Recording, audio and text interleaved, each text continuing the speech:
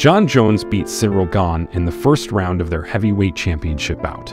The GOAT debate is officially over.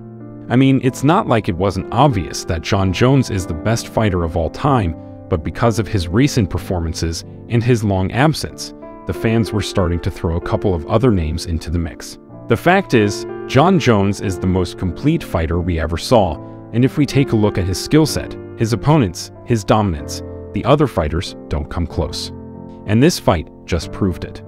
The only real damage Gane did to Bones was the kick to the groin area, and yet Jon just waited 30 seconds before he continued with the fight. And it's not like Gane isn't a great fighter.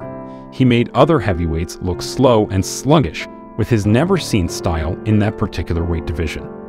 Jon didn't care about his fancy footwork, quick hands, and big muscles.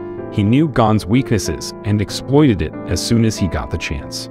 Right now, the only argument left that Jones isn't the best are his doping charges, but as a wise man once said, Everybody's on steroids. Even the second GOAT confirmed it.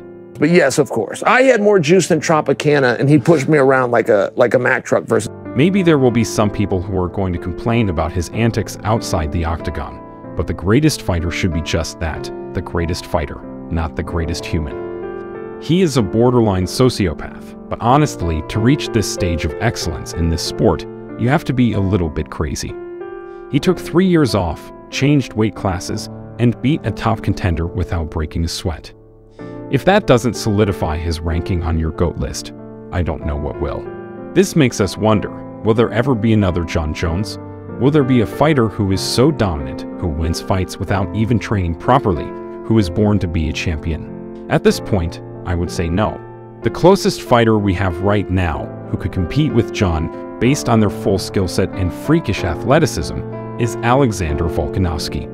But he's already 34 years old and time is definitely not on his side.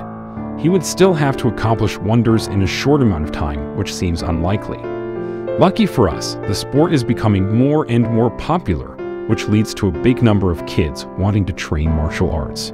And considering that humans are evolving like crazy, we are going to witness a whole bunch of incredible athletes with great desires to become the best. There will be fewer fighters focusing on one particular martial art, but they will give their attention equally to every important aspect of the game.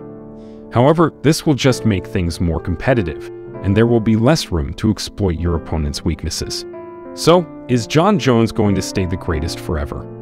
Probably not, but I would be surprised if we actually witnessed the change on the throne in our lifetimes. Last thing. The greatest of all time, ladies and gentlemen, Jon